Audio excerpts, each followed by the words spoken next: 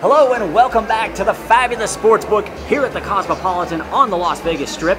I'm Patrick Everson for Covers.com and I'm joined by Jason Simbal, the Vice President of Risk Management for CG Technology. Jason, we're into week six, darn near halfway through the college football season.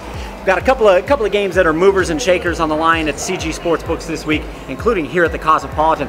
Let's start with Washington at Oregon. Washington just incredible, coming off a decimation of Stanford. Where did that line open, and where are you guys at now? Yeah, Washington looking great, and on the contrary, Oregon not looking so great. Right. You know, big loss last week. Uh, this game opened Washington seven and a half. It's ballooned all the way up to ten. So Oregon is a double-digit home dog.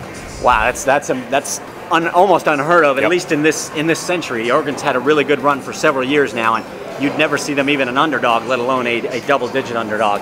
Okay, how about another game? This this one's not quite in the high in, in the uh, focal point, if you will, but one that's on the move, and that's the Army Duke game.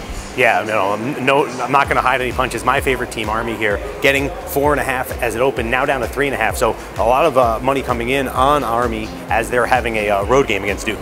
Okay, and then finally, let's uh, wrap up. Go to the Big Ten. Michigan off to a fantastic start. They're playing very well, undefeated, looking to stay that way.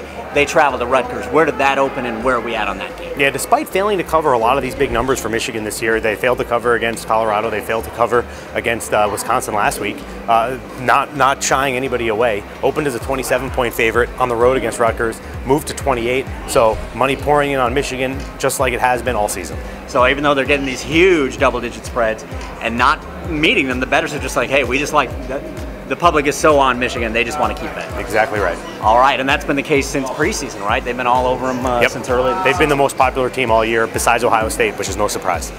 All right, well, thank you again to Jason Simbal, Vice President of Risk Management for CG Technology, for all of his insights and, of course, for the use of this fine space here at the Cosmopolitan, right across the hallway here, the aisle here, I should say, from the Chandelier Bar, a place you ought to make your way to if you get out to the Cosmopolitan this weekend for college football or NFL.